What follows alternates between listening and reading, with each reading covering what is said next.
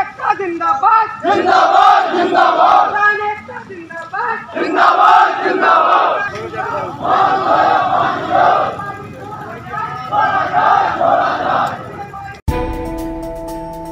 हम हैं देश के एकमात्र ग्रामीण नारीवादी न्यूज़ चैनल। हमारा समर्थन करें यूट्यूब चैनल सब्सक्राइब करें खबरें लाइक करें और वेबसाइट पर सदस्य बनें।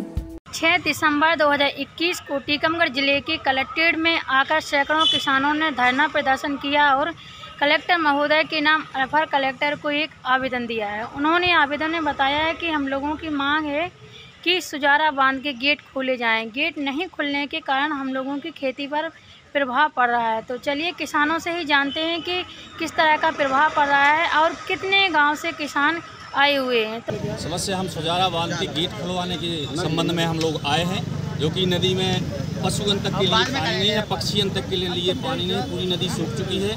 जब से ओवरफ्लो का पानी बंद किया है लोगों ने, तब से पानी खोला ही नहीं किया गया है। Chhatarpur, Tikamgarh S D SDM, तहसीलदार सबको ज्ञापन दे चुके हैं। माननीय विधायक भी हमसे कह चुके हैं, हम लोग इतने परेशान हैं। जितने सुजारा बाँध से नीचे जितने किसान हैं हज़ारों किसानों की फ़सलें सूख सूख चुकी आदि नष्ट हो चुकी हैं। हम लोग जब तक कि सुजारा बाँध के गेट नहीं खोले जाएँगे तब तक हम लोग यहाँ नीचे नहीं हटेंगे। हम लोग चाहे वो मौत दे दे यदि पानी नहीं देंगे तो हम लोग यहीं मार देंगे। हम मरने के लिए तैयार हैं। तो गेट खोले नहीं जा फ़सलें सूख रही काहे की गेट? गेट खुलवाने सुझाव पानी कितने किसान परेशान हैं? कम से कम हज़ार से ज़्यादा हमें परेशान परेशान कहाँ कहाँ गाँव के किसान आए हैं?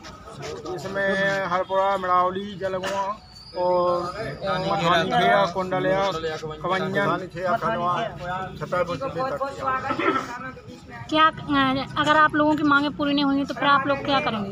इधर ही बैठेंगे हम लोग तो जब नहीं जाएँगे यहाँ से। आज यहाँ पे कौन कौन से गाँव के लोग आए हुए हैं?